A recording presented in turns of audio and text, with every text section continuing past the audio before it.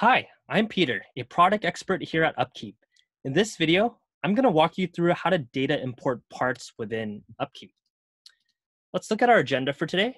I'm going to provide a quick overview on this and demonstration so that you can get started importing right away. First, let's look at overview.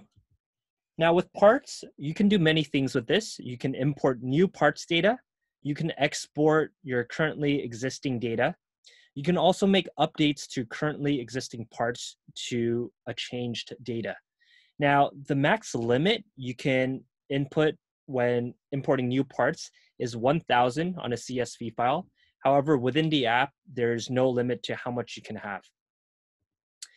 All right, so let's go right along and dive into the demonstration of this. Now, first things first, you're gonna go here in this parts and inventory section. And once you do that, it'll take you here where you can see all your parts.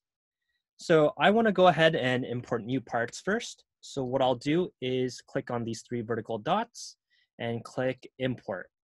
Once you do so, then it'll take you here and you click on that middle box where you can select download our sample template.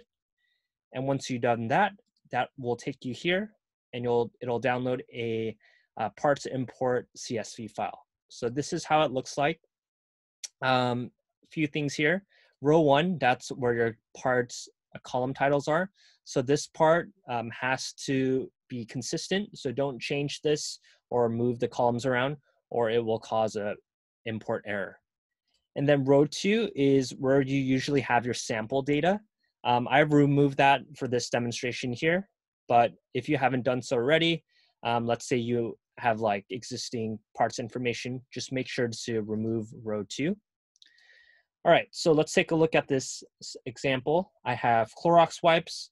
Um, I have my description, quantity, all in here. Cost per unit is just the cost for a single unit of this specific part. Um, one quick rule is when you're putting this down, make sure not to put the dollar sign, just the number. And then also serial number, that's synonymous with barcode number. And then you can also put things like minimum quantity. So let's say you put a minimum quantity of 10, and that's like the threshold. Anytime the quantity is below that, that'll be reflected within the app. It'll be in red, and then you'll get this little message saying running low. All right, and then everything else, things like location ID, asset ID, these things have to exist first within the app, and then you can input those.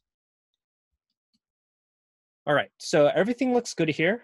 I'm gonna make sure this is saved. And then once I do that, I'm gonna click on the three dots again, click on import. This time, click on that bottom box that says import your file. And then here, where it says parts import, I'm gonna open it. And see how it looks like within the app. All right, so it was here, Clorox wipes, and everything does look good. Um, quantity, description, things like cost, even the assigned location. So all that information on that spreadsheet was reflected accurately within the app. Okay, so that's how you import parts. Let's talk about updating uh, currently existing parts information if you have to make updates into maybe the cost of one of your parts, you can do that easily within the app. But if you have to make mass changes to, let's say you have 50 to 100 parts you want to make changes to, uh, it's best using this updates section. So we're going to click here where it says updates. And when you click on download current parts, uh, we can remove this import data. It's going to look like this. So let's say for the Clorox wipes example that we created, instead of $8 as the cost per unit, I want to make it 10.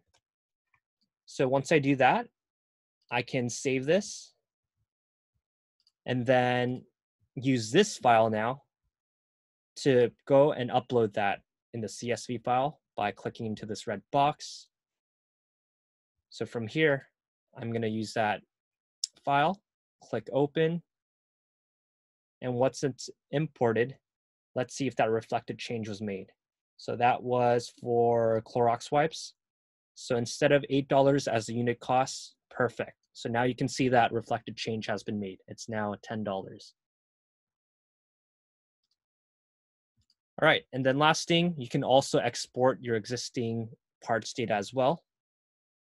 That's going to look very similar to the updates parts data. So just keep that in mind. And then one rule of advice is whenever you're importing, updating, or exporting, just make sure you're going to the specific sections that you need to go. So for instance, if I go here to export parts to CSV file and use that file to try to import new parts, um, I'm gonna get an error message. So just always make sure you're going to the correct sections when doing these. All right, so that's a quick rundown on data importing parts. If you have any questions or feedback, please let us know. But I hope this was helpful and we'll talk to you soon. Take care.